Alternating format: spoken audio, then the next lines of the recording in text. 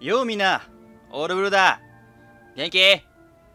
今回は、レベル解放をまとめてご紹介というわけで、やっていこうと思います。たまにはね、あのー、撮影して、えー、人のため、世のため、ドラクエ10のため、そしてみんなドラゴンクエスト10ユーザーのために、えー、ちょっとね、お役立ち動画をちょっと、たまには撮影してみようかなと、思った次第です。で、えー、初心者さんも、えー、見れるし、あと子さんのね、サブキャラ育ててる人も、レベル解放の場所どこだっけっていう時あると思うんだよね。というわけで今回全部、えー、簡単に、ここだよって言ってて、ここだよ、ここだよって言ってて、ここだよって言って教えるだけの動画ですので、えー、超、えー、簡単にパンパンパンって紹介していきますので、そんなに時間かかんないです。なので、ここ来てくれば、ここレベル解放、50レベルはここだよ、ね、60レベルここだよ、みたいな感じで、あの、お知らせしていくので、この動画を見れば一発でどこに行けばレベル解放ができるかっていうのを分かりやすくまとめをしてみようと思います。なので、えー、ぜひとも、えー、この動画をね、チャンネル登録して、えー、いつでも見れるようにしておけば、どこだっけと思った時、ブルさん動画見てみようって、ピリピリピリピリピリってやれば大丈夫だから、なんか食っちゃってるし、なんか食っちゃってるみたいな感じになっちゃってるから、これ。魔物使いのこの、あの、ブレスレットが口に加えてるみたいになっちゃってるから、これ。あの、これ重力に反しちゃって、ほら、口に入っちゃってる感じになっちゃってるから、これ。はい、というわけでやってまいりました。落葉の草原、草原、草原、落葉の草原。場所はここ。呪われた大地の左下の方、マップ見て、マップ見て。呪われた大地のところ。この、えー、チャミミさん。チャミミさんが55レベ解放です。55レベってなんか変な発音になっちゃったけど、55レベ解放は、この、えー、落葉の草原、エルトナですね。落葉の草原の、えー、このチャミミ、ここね、マップ見て、ここ、えー、左下ね。うん。見てくれるわかるから。ここね。ここ。ここが55レベ解放です。はい、次行ってみましょう。あ、こんな感じ、あはい、こんな感じでね、どんどん紹介していくからね。こんな感じで。あの、クエスト内容はネタバレになっちゃうから言わないからね。うん。ね、ネタバレになっちゃうからクエスト内容は言わないけど、ここだよっていうね。ここだよって言うから。はい、ここ。はい、シシモン。60レベル解放、ここ。60レベル解放はここです。はい、郊外さん。ここですね。場所はここ。ね、上だよ、上。ね、上。ランガオ山地側だからね。これ気をつけてね。はい、ここ。ここの方外さんが60レベル解放です。はい、次行ってみましょう。はい、というわけで、はい、来ました。ここ、ツスクルヘアの、えー、場所、ここ。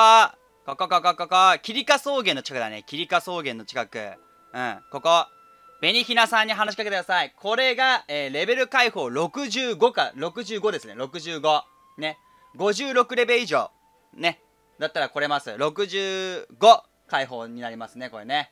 えー、ぜひとも紅ひなさん話しかけてみてください。ちょっと分かりづらいところにいるけども。ね。ツスクルヘアです。はい、次行ってみましょう。えっさうわというわけで、やってみました。これオルフェアです。オルフェア。はい、次オルフェアです。えー、レベル、えー、解放の70ですね。70解放ですね。はい。70を解放するとか、このね、オルフェアの街の聖剣さん。ね、聖剣さんね、場所ここ。ここ、ここ、ここ、サーカステントの後ろあたり。ね、すげえ地味なところにあります。聖剣さん、まつげ投げるの有名だから。聖剣さん、すげえまつげ投げるのが有名だから、これ。まつげ投げ。あの、これね、あの、クエストクリアしてね、祈るとき、祈るとき下向くんだけど、すげえまつげ投げるから、この人。すげえまつげ。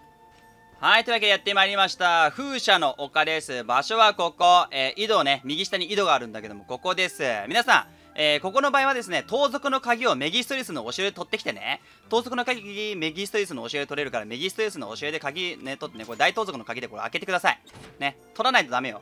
で、ここまっすぐ行ったら、もう井戸がね、ございますので、その井戸の中にね、あの、降ります。は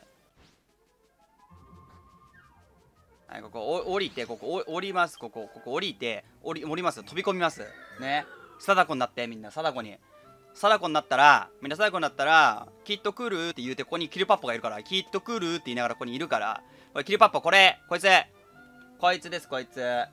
こいつが、えー、75解放です。75レベル解放が、このキルパッポさんです。皆さん、盗賊の鍵忘れないでね。これ盗賊の鍵ないと来れないからね。あいつだけ次行ってしょう。こんな感じでどんどん行くよ。こんな感じでどんどん行っちゃうからね。よいしょ。はい、というわけで、えー、やってきたのがバドリー岩石地帯。これはね、80レベルですね。レベル80解放の場所になります。場所はここだ。ちょっとめんどくさいんだけど、バドリー岩石地帯の、えー、ガートラント領から来て、えー、っと、こう、左に一直線に行って、で、下に行って、で、右です。ね、左に行って下に行って右。ねみんな分かりやすいでしょ？そうそうそうそう。ぐるっとね迂回してきてねここ来るときの小屋です。奥の小屋ね奥の小屋。ここここにえー、ねあのー、戦闘戦闘のあれがいますから戦闘の母的なやつがいるからここに。こいつこいつ。こいつ80レベル解放です皆さんね。もう一回見せましょうか。もう一回もう一回見せようか。場所ちょっと分かりづらい。奥の小屋ね。小屋2つあるから気をつけて。奥の小屋ね。奥の小屋の方ね。だからこっちのあのなんつうのこの教会側ね。教会の方の小屋の中にいるからね。気をつけて気をつけて。気をつけてその辺。気をつけて気をつけて。気をつけて気をつけて。気をつけて気をつけて。はいというわけでやってまいりました。ブーナイねブーナーの熱帯雨林ですね。熱帯雨林のえっと密林の野営地。ですね。ここ、地図で言うとここ、ここにね、あのミーミさんっていう人がいるんで、このね、ここ分かりやすいね、ここね。野営地だからね、これね。野営地ね。野営地じゃなくて野営地ね。野営地だから、ね、何野営地って。ね、野営そういう時あるから、ブルさん。そういう時あるから。野営地ね。野営ね。うん。ここ、ここにね、ミーミさんいるんで、えー、ここが、えー、っとね、85解放ですね。85。85解放のクエストになります。85です。85解放のクエストになります。なんで、えー、もう分かりやすいね。ここが来てくればもうちょいちょいのちょいってみみみさんつってこうみみみさんつってこうこうこうこう入ればこうこうこういうふうにこういうふうにはい。というわけでやってまいりました。オルフェア地方の東。えっ、ー、とピーピのお宿ですね。ちょうどピーピのお宿のところですこれ。後ろはピーピのお宿ですこれね。ピーピのお宿のところになずなさんがいらっしゃいます。これがえー、っとレベル解放90ですね。90のクエストになります。90ねもう8 81以上で受けられるから、81以上になったらもう、なずなさん、なずなさんつってて、ここに来ればなずなさんに会えますので、はい。そしたらもう90解放できますのでね。えー、頑張って90解放して。みんな90解放してね。はい。次行くよ。はい、というわけでやってまいりました。もがりム街道のもがれキャンプですね。はい、ここ、ここ、ここ、ここ、もがれキャンプ。ね、あの、がたら、あの、玄野の方から来るとこね。まあね、ここね。えー、来て、えー、メナーさんに話しかけてください。こちらがですね、レベル解放93です。ここからちょっと細かくなっていきます。93レベルです。93レベル解放。ここから3刻みでね、行くことになっちゃいます。ね、皆さん気をつけてくださいね。これ93ね。うん。このメナーさんね、モカレキャンプの。場所わかるよね、みんなね。大丈夫だよね。大丈夫皆さんね、話しかけて、このね、狼、狼を回してね、ワッシュ、ワッシュ、あ、ワッシュ、ワッシュ、あ、月が綺麗だな。あ、月が綺麗で、あよーあれ、さっきと同じ光景が広がってると思ったそこの君、正解。ここが、実は、えー、メナーさんね、さっき、あの、モガレキャンプにいる、えっ、とね、あの、93、解放クエストだったんだけど、96もここなんです、実は。96もここ。で、メナーさんにお話を、お話をね、かけてですね、お話をかけてどういうこと話しかけて、あのー、クエストを受注してください。行く場所が違うんです。でも、受ける人はメナーさんで会ってます。そわけで、えー、まずメナーさんに話しかけてください。96の場合はね、メナーさんに話しかけて、行く場所は、ここ。というわけでやってきたのが、えー、ドルワーム王国。で、えー、っと、入り口に来た人ね、入り口から入ってきた人は、えー、郵便局前に飛ぶのが一番早いです。郵便局前に飛んで、ね、入り口から来た人はね、あのドドラ王国の入り口からね、外から入ってきた人、ね、は、えー、郵便局前に来て、郵便局前からここ、ここの井戸の中、ね、井戸の中に、えー、ね、あの、行って、えー、レベルね、これ内容ちょっと伝えちゃってるけども、内容伝えちゃってるけどもね、まあ、わかみんなわかりやすくね、メナーさんで受けて、でこの中でえっ、と報告するのがこのね井戸の中にいるねまあクエストクリアするとねクエストクリアするとここにねあの出てくるんですよ。あのミナナさんっていう人が。でこれねミナナさんね。はいミナナさん。これクエストクリアするとこのミナナさんが出てきますので皆さんね。この皆さんミナナさんに話しかけると解放になります。だから受注するのは受注するのはモガレモガレモガレキャンプにいるねメナーさんなんだけど、えーと、報告するのがこうミナナさんだからね。皆さんクエストの内容はねちょっと言わないけれども流れ的にはこんな感じです。はい。こういうの人に最後、えーあのクエストクリアし終わって話しかけるとレベル解放解放解放解放解放。はい。つうわけで、えー、あれまた同じ光景に広がってないっていう。もう一回同じ光景が広がってないってそうなんです。ここなんです。えー、ここですね。ここ。えっ、とねえっ、と、ドラマ王国のさっきのね、井戸の中、ね、井戸の中のミナナさんが、えー、レベル99解放になりますので、皆さん。99、99レベルはここで解放してください。で、クエストを他で、ね、ここで受けて、ここで受けて、クエストクリアして、ここで報告。これで99解放できますね。場所はドルアモ王国。ね一緒だよ。郵便局のあの近道使ったここの井戸だからね。ここここ場所的にはここね。下下。D の 8D の8ね。はいここここここここここ。こここここここはいつうわけで次は100レベ解放。やっと100レベまで来たね。がここ新ダーマ、えー、新新のダーマ神殿ね。新のダーマ神殿の E の4あたりにいるこいつ。こやつ。こやつに話しかけてください。まあ最終的にはねこいつもう一回話しかけに来ることになるんだけれども。まあそれはまあ、うん、まあ一番最後のね、今現状一番最後なんだけど、まあ、こいつですよ。100レベル解放、とりあえずこいつ。場所ここね。ここ、ここ。E の4ね。こいつ。こいつに話しかけて、えー、っと、100レベル解放してください。はい、次行ってしょう。はい、というわけで来たのが、えー、105レベル、えー、の解放ですね。100から105。ね、105です。100はこの真のメルサンディですね。ね。この真のメルサンディ、うんうん体、ね。うん、国、国倉体、国倉、なんこれ、なんていうのこれ？穀物、穀物みたいな、そんな感じの感じ。そんな感じの感じ。感じ、感じに感じ。ここ。ここね、メルサンディ村から出て、真のね、メルサンディ村から出てすぐここね、ここのね、小屋の中にね、いらっしゃいます。105レベル解放、サンサさんね、サンサさん。うん、サンサさんね、このね、美女、美女、美女がいるでしょ、ここに美女が、目つぶってる美女が。この人、この人。この人は105レベ解放です。皆さんね、えー、ぜひともね、駆けつけてあげてください。ね、どんなクエストなんだろうね。はい、というわけで来たのが、えー、108レベル解放ですね。108、108レベル解放ですね。えー、こちらのね、ゼランさんで話しかけてください。あら、真のアラハギーロ地方ですね。はい。真のアラハギーロ地方。えっ、ー、と、場所的には E の2になるかなの井戸の前ですね。E の2の井戸の前に、このゼランさんがいますので、こちらが108レベル解放になります。なんかこれちょっといろいろめんどくさいかもしんない、このクエスト。頑張って、やってみて。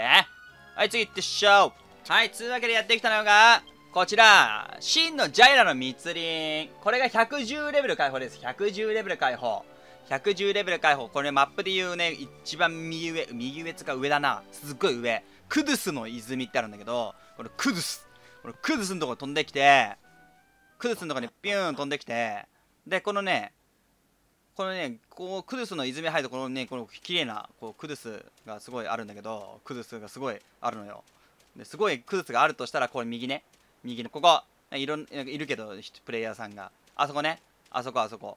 あそこがあそこのここのこの人ねこのシャシャドポンさんっていうのがいるから、えー、聖剣士シャボシャドポンさんっていうのが今ジュンさんが受けてるけれどもね。あのシャドポンさん。あのシャドポンさんに話しかけたら110レベル解放になります皆さんね。ちょっとあのこれはねわりかし簡単なねクエストだと思ったよ。確か。うん俺の記憶によると。というわけだ。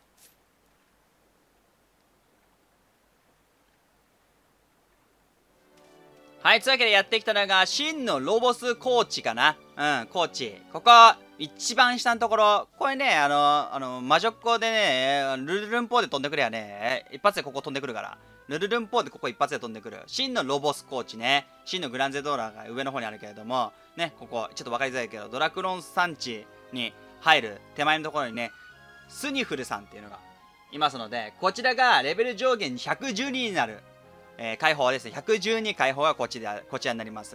場所間違いないようにね。これ、真のロボスね。真のロボス。ね、スニフルさんね。はい。ここに今いらっしゃいますので、えー、この人から受けてください。はい。この人から受けてください。この人から受けてください。ねえ。下まつげ長えな、おい。そして、そして、そして、そして、114解放、またこいつ114レベル解放はまたこいつでございます。2回ですね。114レベル解放になります。はい。こいつで今のところ現状ね、114が最強ですので、右下見てくれば分かりますけど、114が最高今レベルマックスの、えー、撮影となっております。え今後出たらもう一回なんかね、撮影し直すかもしれませんけれども、現状114が最高レベルになっておりますので、え、こちらのね、あの、星降る王さんにね、あの星降る武王さんにね、あの、星降りの武王なのかなわかんないけど、なんて読むんだろうね、この人。はい。この人ね、もう一回この人で114レベル解放は、はい、以上になります。以上がすべての、えー、ね、解放。ね、懐かしいですね。思い出す人は思い出したんじゃないでしょうか。こんなにあったな、こんな、こんなんあったな、みたいなね。俺、この人2回やんの、俺、今回の実況初めて知ったわ。俺、前回の忘れてたわ。この人の話しかけたんだね、俺ね。つわけです。はい、つわけで、えー、ね、今回、えーレベル解放、えー、て紹介というわけでまとめをやってみました。えーよかったらチャンネル登録、高評価よろしくお願いいたします。というわけでね、えーまあ、普通のあの配信とかもやってますし、実況もね、あのちょくちょくあの撮っておりますので、ぜひともチャンネル登録していただけたらなと思います。ありがとうございます。それではそれでは、皆さんね、あのー良いドラゴンクエストライフをお楽しみくださいませ。キュピン。ありがとうございました。バイバーイ。